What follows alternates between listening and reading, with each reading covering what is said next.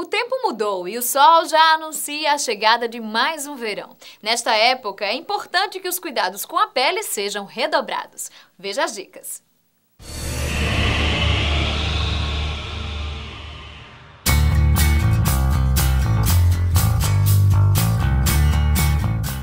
Pois é, mais um verão está chegando e alguns cuidados são fundamentais para que a estação mais quente do ano não prejudique a saúde da sua pele. É normal que nessa época apareçam brotoejas ou mesmo acne, e isso tem uma explicação. Durante o verão ocorre um aumento da temperatura, né? Então, com o aumento da, da temperatura, ocorre um maior sudorese, então um suor mais intensivo.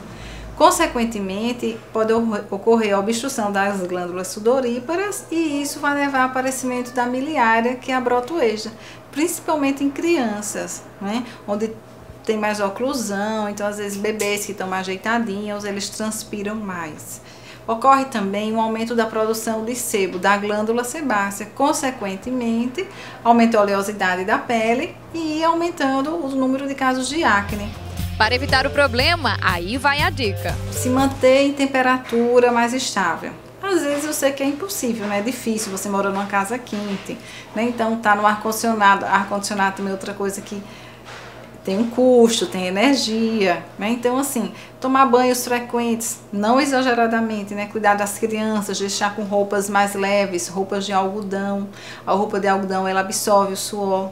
As roupas sintéticas devem ser evitadas, né? aqueles tecidos sintéticos que são mais fáceis de lavar, que são mais fáceis de passar, aliás, que nem precisam passar, eles acabam trazendo uma piora desses quadros, né? Levando até a dermatite, que são inflamações da pele. O câncer de pele ainda é uma grande preocupação entre os médicos e para evitar esta grave doença, fique ligado nas orientações da dermatologista.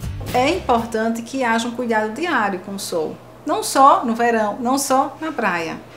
Então, o ideal é o uso de filtro solar diário, um filtro solar, principalmente nas áreas expostas, como na face, né? A incidência maior de câncer de pele é na face depois o colo e os braços. Então, proteger essas áreas, evitar estar no sol nos horários entre 10 e 2 horas da tarde. Né? Usar, hoje em dia a gente tem roupas né, com filtro solar que são bem interessantes, uso de chapéu, barracas.